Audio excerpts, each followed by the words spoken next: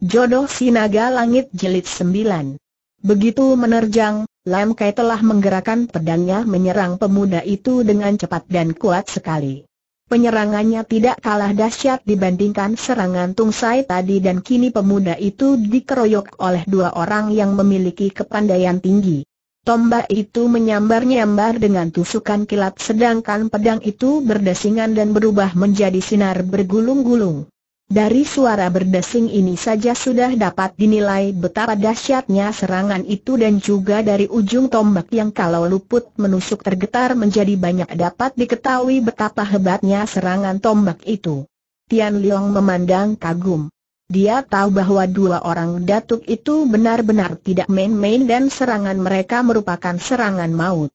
Kalau pemuda itu tidak memiliki gerakan cepat dan terkena bacokan pedang atau tusukan tombak, tentu dia akan terluka parah atau tidak mustahil tewas seketika. Akan tetapi bayangan pemuda itu berkelebatan dan ia mampu menghindarkan pengeroyokan pedang dan tombak itu dengan melakan atau tangkisan. Yang mengagumkan, terkadang pemuda itu berani menangkis mata, tombak dan pedang dengan kebutan tangan kosong. Suhu Pak Sian dan Suhu Siong, majulah sekalian agar kalian berempat mengeroyokku. Aku tidak akan menyesal seandainya aku terluka atau tewas pemuda itu menantang dan suaranya lembut dan merdu, manis menyenangkan.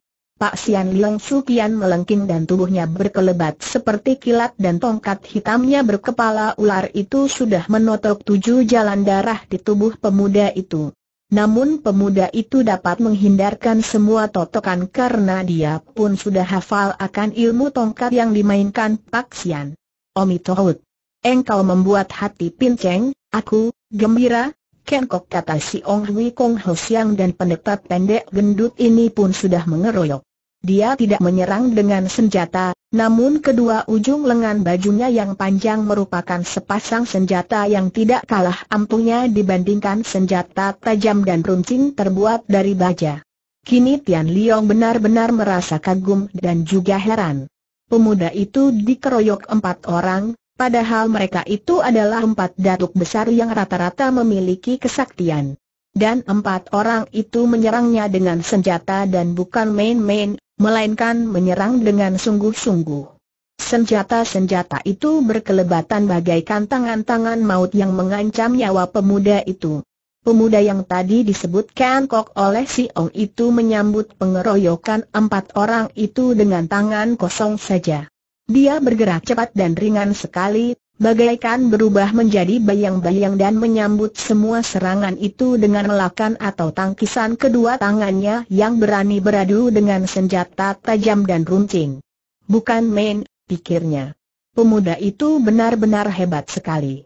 Dia sendiri pasti akan kerepotan kalau dikeroyok empat orang datuk itu. Kengkok, dia akan mengingat nama itu. Tian Leong seolah mendapat firasat buruk bahwa Ken Ko ini kelak akan menjadi lawannya. Apalagi mengingat bahwa empat datuk besar itu mendendam kepada suhunya dan hendak membalas kekalahan yang pernah diderita mereka dari suhunya. Maklum bahwa kalau mereka melihatnya maka tentu akan timbul keributan, maka Tian Liong merasa tidak enak kalau mengintai terus. Dia lalu dengan hati-hati meninggalkan tempat itu. Setelah tiba di pantai di mana dia meninggalkan perahunya, dia melihat lima orang tuli gagu tadi masih berada di situ, menunggui perahu mereka. Tian Leong tidak memperhatikan mereka. Akan tetapi lima orang itu ketika melihat Tian Leong datang, mereka mencabut senjata dan siap hendak menyerang. Tian Leong tidak ingin berkelahi, Apalagi dia tidak ingin kehadirannya di pulau itu ketahuan oleh empat datuk besar dan murid mereka yang aneh dan lihai itu. Maka, dia lalu menghampiri sebatang pohon dan mencabut pohon itu yang menjadi jebol berikut akarnya. Melihat ini, lima orang itu terbelalak dan mereka mundur ketakutan. Kesempatan itu dipergunakan Tian Liong untuk menarik perahu kecilnya ke air dan mendayung perahu itu meninggalkan pulau. Lima orang tadi hanya melihat ke arah perginya Tian Liong. Tangan bergerak-gerak, mewakili kata-kata untuk bicara dengan teman-teman mereka. Siapakah pemuda lihai yang mampu menandingi pengeroyokan empat datuk besar itu? Delapan tahun yang lalu, pemuda itu adalah murid Tungsai, Singa Timur, Kuito. Datuk Timur ini amat menyayang pemuda yang bernama Ken Ko itu karena selain pemuda itu menjadi seorang murid yang pandai, juga dia adalah keponakannya sendiri, putra adik perempuannya yang menikah dengan sutainya, adik seperguruan, yang bernama Ken Giam dan berjuluk Wong Sin Eng, Garuda Sakti Kuning. 13 tahun yang lalu, Ketika Ken Kok berusia 10 tahun, pada suatu hari ayahnya, Wang Sineng Ken Giam tewas ketika dia hendak merampas kitab-kitab yang dibawa Tiong Li Chin Jin. Dalam perkelahiannya melawan si Dewa Obat, Ken Giam menderita luka dalam yang parah karena tenaga sinkangnya membalik dan memukul dirinya sendiri ketika dia menyerang Yok Sian Tiong Li Chin Jin. Biarpun terluka parah, dia menolak ketika Tiong Li Chin Jin hendak mengobatinya. Dia memaksa dirinya yang sudah payah itu untuk pulang dan setibanya di rumah, dia tewas karena luka dalam yang parah itu. Istrinya, adik perempuan Tungsai, menyusul suaminya, meninggal dunia karena sakitnya menjadi semakin berat sepeninggal suaminya. Demikianlah, Kenko yang menjadi atim piatu itu dibawa paman tuanya ke pantai laut timur daerah Cekyang.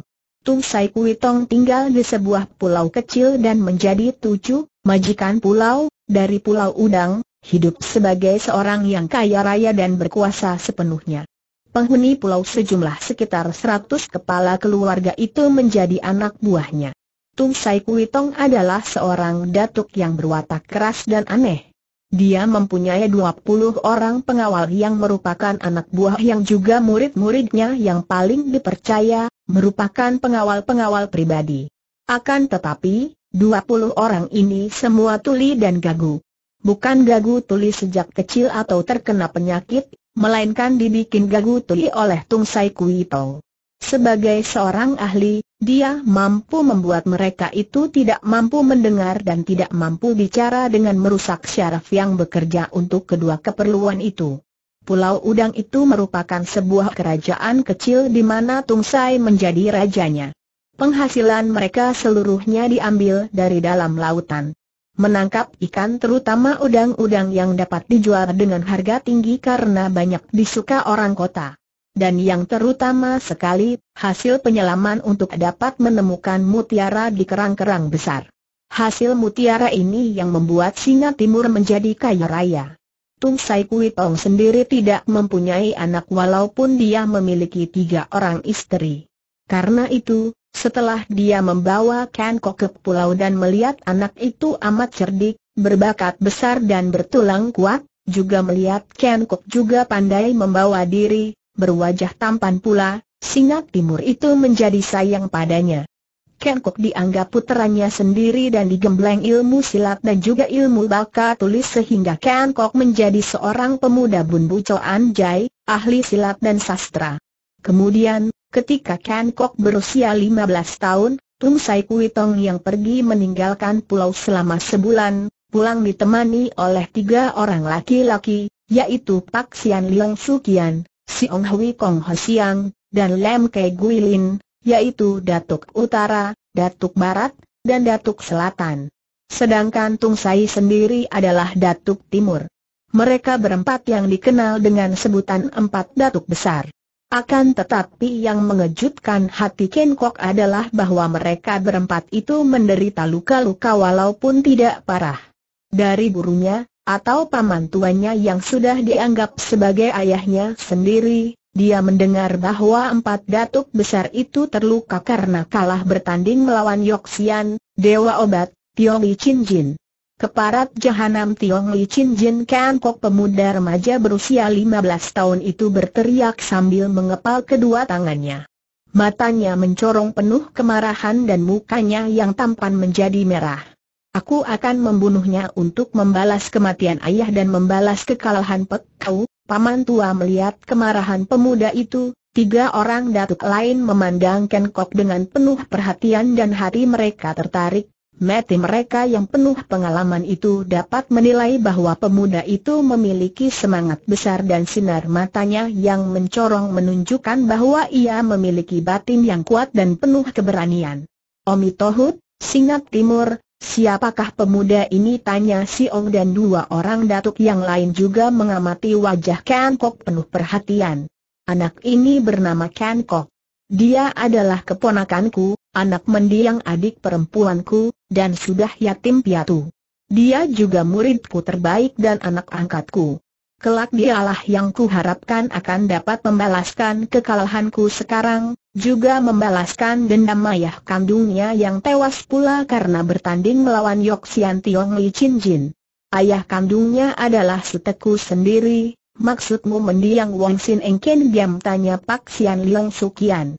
Benar, karena itu aku akan mengajarkan seluruh ilmuku kepadanya agar kelak dia dapat membalaskan dendam ini, air, tungsai, bukan maksudku memandang rendah kepandaianmu. Akan tetapi kalau engkau sendiri, bahkan kita berempat, masih tidak mampu menandingi Oksian, bagaimana engkau dapat mengharapkan muridmu dapat mengalahkannya kata Lem Kei Guilin mendengar ucapan pengemis selatan ini, singa timur mengerutkan alisnya. Hatinya tidak senang, akan tetapi dia tidak dapat membantah ucapan itu karena memang benar. Dia dengan tiga orang rekannya, empat datuk besar, maju bersama dan masih juga belum mampu mengalahkan Tiong Li Chin Jin.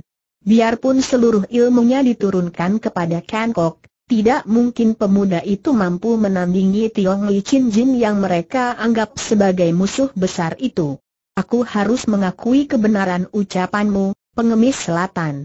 Akan tetapi apalagi yang dapat kulakukan katanya kesal. Omi Tohut.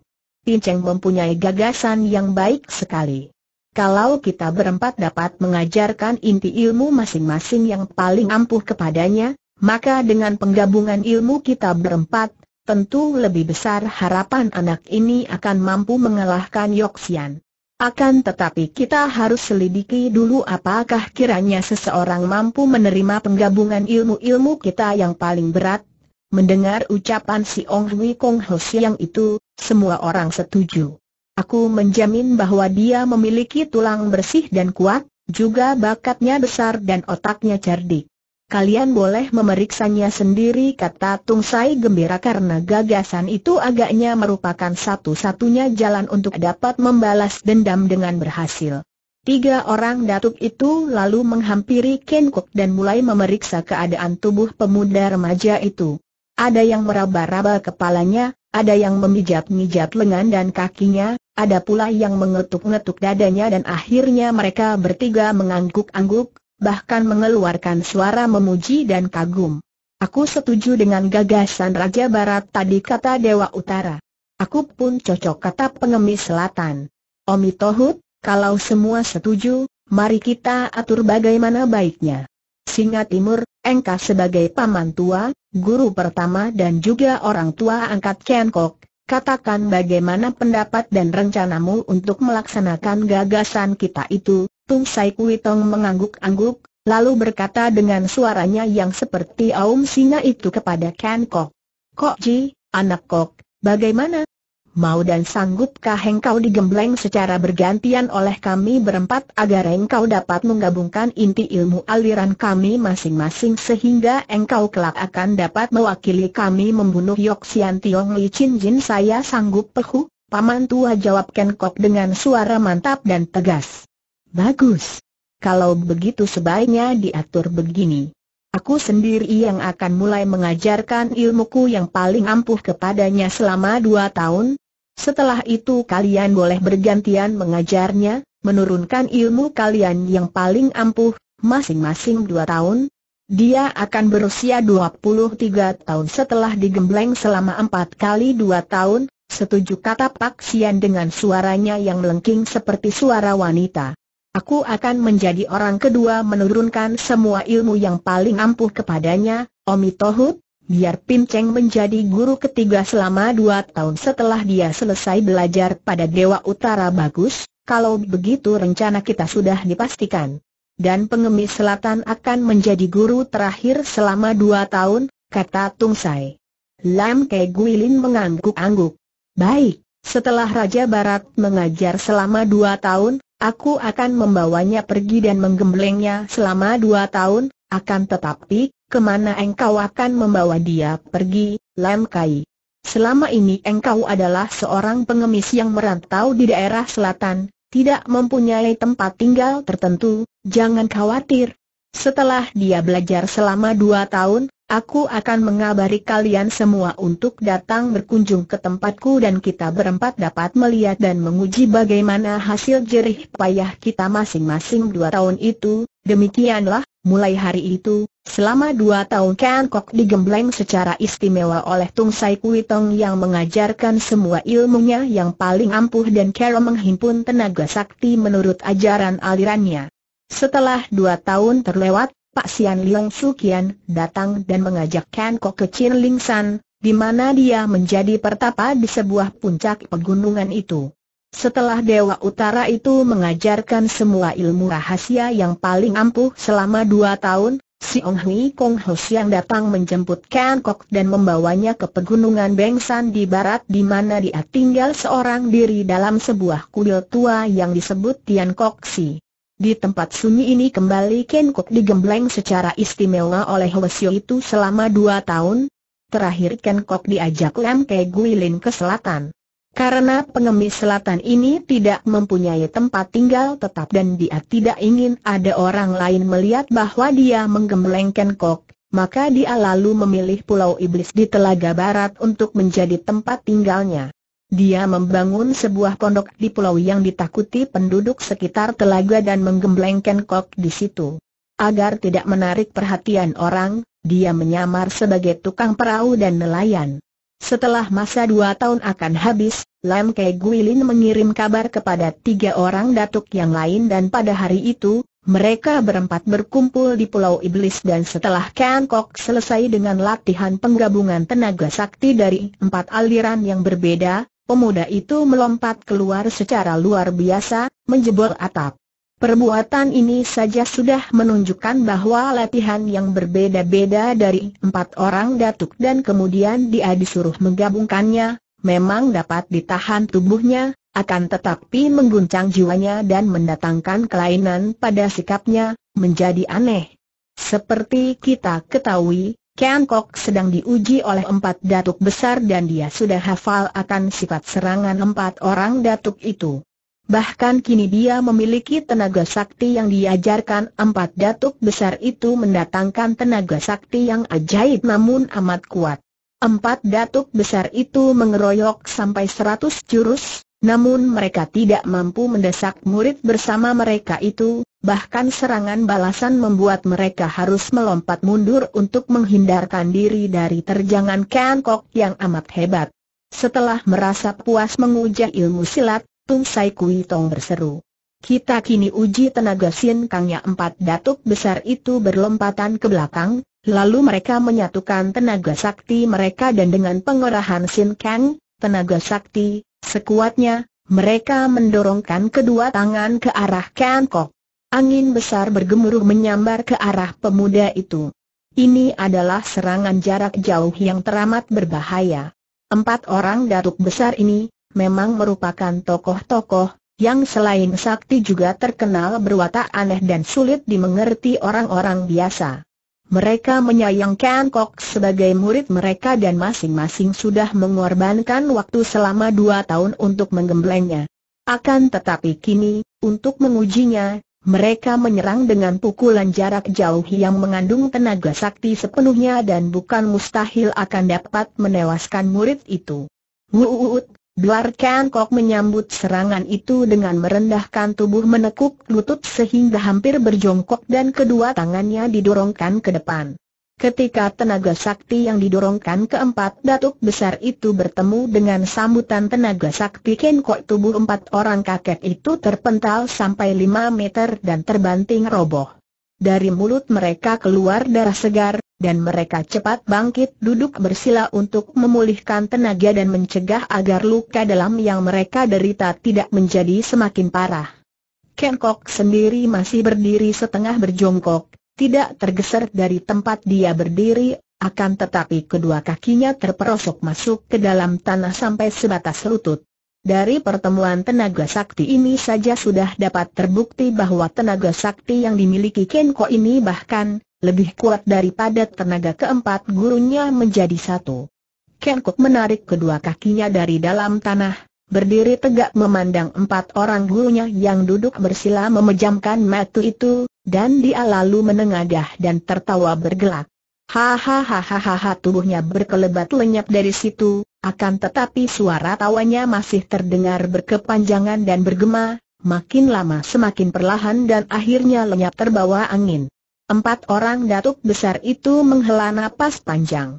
Diam-diam mereka merasa khawatir karena biarpun murid mereka itu dapat diharapkan akan mampu membalas dendam dan kebencian mereka dengan membunuh Tiong Li Chin Jin, namun dia pun kini menjadi aneh dan tidak memperdulikan empat orang gurunya lagi dan kalau sampai pemuda itu tidak terkendali, siapa yang akan mampu menundukkannya kalau dia menjadi liar dan merusak. Ken Kok berloncatan ke arah pantai pulau itu dan mulutnya berbisik-bisik, Tio Li Chin Jin, tunggulah saat kematianmu di tanganku. Hahaha, engkau harus menghadap ayahku di alam baka. Hahaha sambil tertawa-tawa, kini tawa tanpa bunyi, hanya menyeringai dan terkekeh, seperti seorang yang miring otaknya. Setelah tiba di pantai, lima orang gagu tul yang menjadi pendayung dan anak buah Tung Sai memandang ke arahnya dengan pandang mata heran. Seperti diketahui, Sejak berusia 10 tahun Ken Kok dibawa paman tuanya, yaitu Tung Sai, Singa Timur, Kuitong ke Pulau Udang di Laut Timur dan selama lima tahun digembleng di sana. Setelah berusia 15 tahun, barulah dia keluar dari pulau untuk menerima gemblengan empat orang datuk besar itu selama masing-masing dua tahun. Karena itu, Lima orang pendayung perahu yang merupakan sebagian dari anak buah Pulau Udang yang menjadi anak buah Tungsai, mengenal Ken Kok. Mereka adalah orang yang sengaja dibikin gagu dan tuli oleh Tungsai, dan mereka amat setia kepada Tungsai. Melihat Ken Kok mendatangi perahu mereka dan tanpa banyak cakap hendak melepaskan ikatan perahu, lima orang itu segera menghampirinya dan menghalangi dengan gerakan tangan, melarang Ken Kok yang hendak menggunakan perahu itu. Ken Kok memandang mereka dengan alis berkerut. Pergi kalian bentaknya. Akan tetapi lima orang gagu tuli itu yang merasa berkewajiban menjaga perahu, kukuh hendak melarang dengan memegangi perahu yang hendak ditarik ke air oleh Ken Kok. Melihat ini, Ken Kok menjadi marah dan dia memperlihatkan kemarahannya itu dengan tertawa kalau mengeluarkan tawa terkekeh dengan suara seperti tangis mengguguk seperti itu, merupakan pertanda bahwa pemuda aneh itu sedang marah. Tiba-tiba tangan kirinya berkelebat ke arah lima orang itu dan mereka berpelantingan roboh dan tewas seketika dengan muka berubah menghitam. Ken Kok tertawa bergelak, kini tertawa karena senang hatinya seperti ketika dia merobohkan empat orang datuk besar tadi. Dia mendorong perahu ke air telaga lalu mendayung. Perahu meluncur cepat sekali karena gerakan dayung itu bukan main kuatnya, seolah didayung sepuluh orang, sebentar saja sudah jauh meninggalkan Pulau Iblis. Ketika empat orang datuk besar tiba di pantai pulau itu, mereka melihat mayat orang gagu tuli yang mukanya kehitaman dan mereka berempat menghela napas panjang. Celaka, dia menjadi liar sampai orang-orang sendiri pun dia bunuh kata Tung Sai Kui. Hem, bukan mustahil kalau kelak bertemu dengan kita, dia juga akan membunuh kita satu demi satu. Otak anak itu telah rusak oleh Sin Kang yang amat kuat namun karena datang dari empat aliran yang dipersatukan, merusak dan mengacau pikirannya, kata Pak Sian Leong Sukian. Bagaimanapun juga, dia sudah menjadi luar biasa lihainya dan aku yakin dia akan mampu membunuh Tiong Li Chin Jin, kata Lem Kei Guilin Omitohut. Biarkan dia membunuh Tiong Li Chin Jin lebih dulu, baru sesudah itu kita mencari jalan untuk memusnahkan dia karena kalau dibiarkan, dia hanya akan membuat kotor nama kita yang menjadi guru-gurunya, kata si Ong Hui Kong Hosiang. Tung Sai Kuitong lalu melempar-lemparkan mayat lima orang anak buahnya itu ke tengah telaga dan sebentar saja di telaga itu ikan-ikan berpesa pora. Kekejaman seperti itu bukan merupakan hal aneh bagi empat orang datuk besar yang terkenal akan kesesatannya itu. Kemudian mereka berempat mempergunakan dua buah perahu kecil yang tadi dipergunakan Pak Sian Leong Sukian dan Si Ong Hui Kong Ho Siang untuk meninggalkan Pulau Iblis di tengah telaga itu. Setelah tiba di daratan mereka berpisah dan kembali ke tempat tinggal masing-masing, Pak Sian kembali ke Chin Ling San, Si Ong kembali ke Beng San, Tung Sai kembali ke Pulau Udang di Laut Timur, dan Lam Kei Guilin kembali merantau karena dia adalah seorang datuk pengemis yang suka merantau dan tinggal di Pulau Iblis hanya untuk sementara, selama dua tahun ketika dia melatih Ken Kok. Yang pernah melihat Hon Bilan tentu tidak akan menduga bahwa gadis yang berjalan perlahan mendaki bukit itu adalah Hon Bilan. Setelah beberapa bulan meninggalkan ibunya, mengamuk dan menciderai para pria bangsawan dan hartawan yang sedang bersenang-senang di rumah-rumah pelacuran, gadis yang tadinya bertubuh denok padat itu kini tampak kurus. Pakaiannya yang biasanya berwarna merah muda dan rapi bersih, kini lusuh. Rambutnya yang hitam panjang dan biasanya digelung indah, kini dibiarkan terurai lepas sampai ke punggung. Wajahnya memang masih tampak cantik menarik namun kehilangan sinarnya, Pandang matanya kosong dan sepasang alisnya yang indah bentuknya itu selalu berkerut. Berbagai kegetiran mengacaukan ingatannya. Pertama yang mengguncangkan hatinya adalah kenyataan bahwa ibunya adalah seorang bekas pelacur. Kedua adalah kematian ayahnya sehingga ia bersumpah untuk membalas dendam karena kematian ayahnya itu kepada Toat Beng Choa Ong Ou Kan dan dua muridnya, yaitu pemuda bernama Bong Kiang dan gadis bernama Bong Shulan. Dan ketiga, ia harus membalas penghinaan yang dilakukan So Tian Liong kepadanya, yaitu telah menampari pinggulnya sebanyak sepuluh kali. Masih terasa panas kedua pipinya sampai sekarang setiap kali ia teringat akan peristiwa itu. Pinggulnya yang ditampari, akan tetapi hatinya yang sakit dan kedua pipinya yang panas dan kemerahan.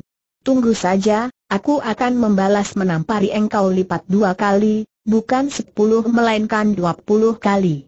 Tentu saja bukan pada pinggul Tian Leong, melainkan pada kedua belah pipinya, pikirnya dengan hati panas.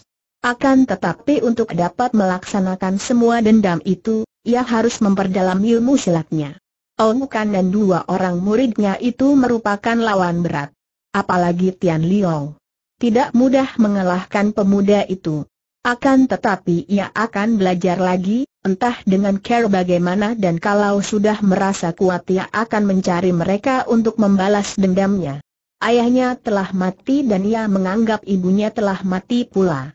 Pikiran ini membuat ia merasa demikian tertekan hatinya, membuat ia seolah kehilangan gairah hidupnya dan kini darah perkasa yang menderita batin itu mendaki bukit bagaikan orang berjalan dalam mimpi tanpa tujuan, seolah tidak sadar dan hanya menurut saja ke mana kedua kakinya melangkah dan membawanya.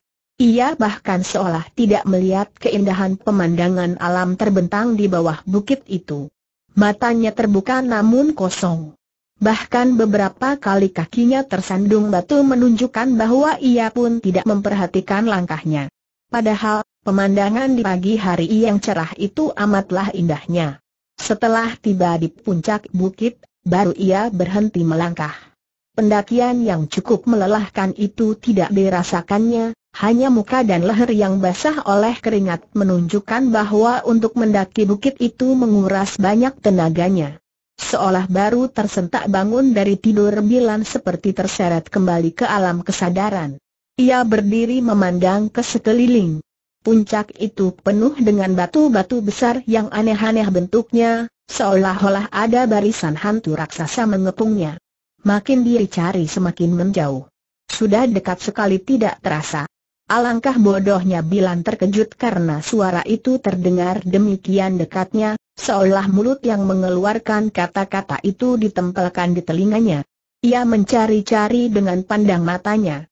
Akan tetapi karena di sekelilingnya berdiri batu-batu besar berderet-deret seperti kepungan raksasa, ia tidak dapat melihat jauh, terhalang batu-batu itu. Tidak tampak seorang pun di situ. Ia lalu berjalan, di antara batu-batu dan memandang ke kanan kiri dan ke atas batu-batu, namun setelah ia berputar-putar di sekitar puncak, tidak menemukan seorang pun. Bilan berhenti melangkah, alisnya berkerut, matanya yang selama ini kosong dan sayu, kini mencorong, pertanda bahwa ia mulai mencurahkan perhatiannya dan merasa penasaran. Bahkan ia mulai waspada. Ia seorang gadis yang sudah biasa bertualang, tidak mengenal takut. Bahkan kalau pada waktu itu orang-orang lazim percaya akan tahyul dan takut terhadap cerita dan bayangan tentang setan, Bilan tidak pernah takut. Iblis yang bagaimanapun akan dihadapi dan kalau perlu ditentangnya. Keparat. Siapa yang bicara tadi? Hayo cepat keluar ia membentak sambil mengerahkan tenaga saktinya sehingga suaranya itu bergema sampai jauh. Akan tetapi tidak ada yang menjawab ucapannya tadi.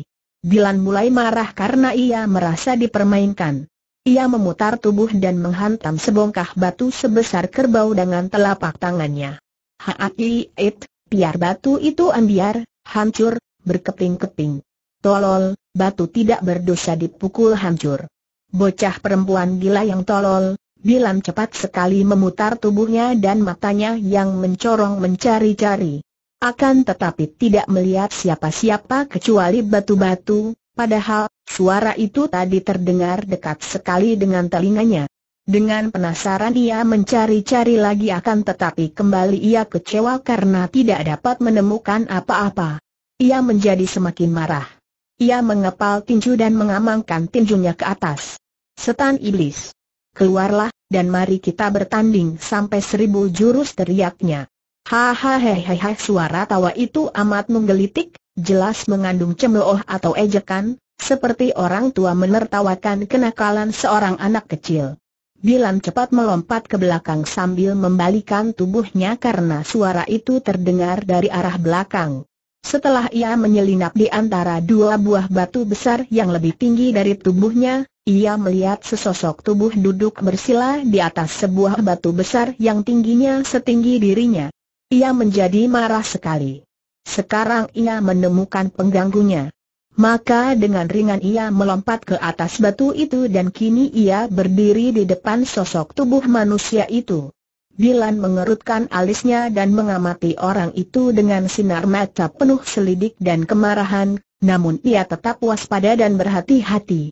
Orang itu duduk bersila dengan tegak dan kaku seolah-olah telah berubah menjadi arca batu. Rambutnya putih riap-riapan, sebagian menutupi wajahnya yang kurus pucat. Alis dan kumis jenggotnya juga sudah putih semua. Wajah itu tentu sudah tua renta, mungkin ada seratus tahun usianya. Matanya terpejam, mulut tertutup. Wajah kurus pucat itu tidak ada sinar kehidupan, seperti wajah mayat. Pakaiannya yang membungkus badan kurus itu hanya kain putih yang sudah lusuh. Kepalanya hanya diikat sehelai kain putih pula. Kedua kaki yang itu mengenakan sepatu kain putih yang sudah butut. Hei, Kakek tua engkaukah yang bicara dan mentertawakan aku tadi Bilan menegur, agak menyabarkan hatinya karena ia berhadapan dengan seorang kakek tua renta yang pantasnya menjadi kakek buyutnya. Akan tetapi orang itu sama sekali tidak menjawab, bergerak sedikit pun tidak. Hei, kek, jawab pertanyaanku. Engkaukah yang bicara tadi kakek itu tetap diam saja. Bilan menjadi jengkel. Kakek tua, Tulikah engkau? Gagukah engkau? Hayo jawab, jangan membuat aku marah tetap saja kakek itu tidak menjawab. Setan, apakah Hengka sudah mati bentak Bilan, lalu matanya terbelalak. Mati. Mungkin kakek ini sudah mati. Bilan menjulurkan tangannya meraba dahi yang berkeriputan itu. Hih, dingin sekali. Benarkah sudah mati? Akan tetapi walaupun wajah yang pucat itu seperti mayat, tubuhnya masih duduk bersila dengan tegak. Mana mungkin mayat dapat duduk bersila tegak terus-menerus? Hanya kalau mayat itu membeku atau sudah menjadi batu. Akan tetapi mayat ini tidak membeku, kulit dahinya yang dirabanya itu masih lunak. Bilan kembali menjulurkan tangannya, dibawa ke depan hidung itu. Tidak ada hembusan napas sedikit pun. kakek itu tidak bernapas. Berarti sudah mati. Juga baju di bagian dadanya tidak bergerak, tanda bahwa dada itu pun tidak mengembang kempis seperti kalau orangnya masih hidup dan bernapas. Ah, tanda hidup atau mati ada pada detak jantungnya, pikir Bilan.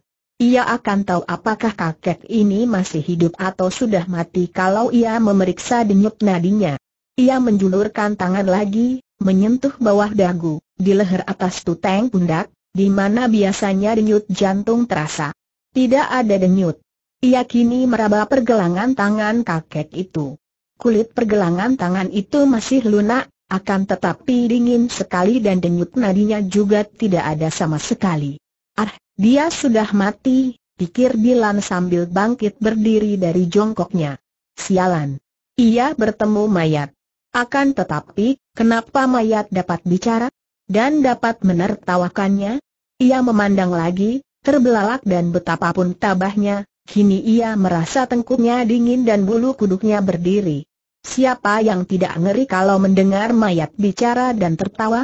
Akan tetapi dasar ia seorang gadis bandel dan keras hati, ia mampu mengusir rasa ngerinya dan membentak sambil menudingkan telunjuknya ke arah muka mayat itu. Siapa kau? Sudah mati masih suka menggoda orang daripada masih hidup suka menggoda orang, lebih baik sesudah mati, tidak berbahaya bilan terbelalak dan mulutnya ternganga. Jelas terdengar oleh telinganya bahwa suara itu keluar dari mayat itu, akan tetapi ia tidak melihat mulut mayat itu terbuka. Sama sekali mulut itu tidak bergerak. Bagaimana mungkin bicara tanpa menggerakkan bibir? Bulu kuduknya meremang semakin kuat, rasa dingin di tengkuknya menjalar ke punggung. Akan tetapi Bilan mengeraskan hatinya dan menjadi semakin marah sehingga tanpa disadari ia membanting-banting kaki kirinya yang merupakan kebiasaannya sejak kecil kalau ia sedang marah. Setan engkau setan iblis neraka yang memasuki tubuh mayat ini untuk menggodaku ia memaki dan menudingkan lagi terunjuknya ke arah muka mayat itu. Hehe, engkaulah setan betina cilik yang tolol kembali terdengar suara dari mayat itu, suara yang keluar tanpa menggerakkan bibir. Kemarahan mengusir semua rasa ngeri dan takut. Setan busuk, jangan kira aku takut padamu. Mampuslah kamu. Bilan menggunakan tangan kirinya untuk menampar pundak mayat itu. Karena ia masih ingat bahwa itu mayat seorang kakek, ia masih merasa sungkan dan yang ditampar hanya pundak, itu pun tanpa mengerahkan tenaga saktinya karena ia tidak ingin merusak mayat itu.